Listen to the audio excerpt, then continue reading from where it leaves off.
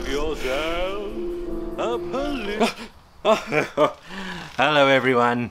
I hope you all had a wonderful holiday season like I did with family and stuff. Oh, now just resting and recuperating with joyous spirit, with the spirit of Christmas, as we all know, Buddha. So have a good uh, little uh, time coming up on New Year's. New Year's very exciting.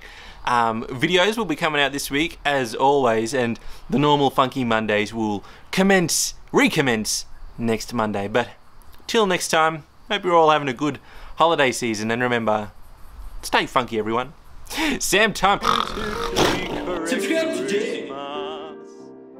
Funk it time. Gypsy, what's happened to you? You've gotten fat. You've become fat.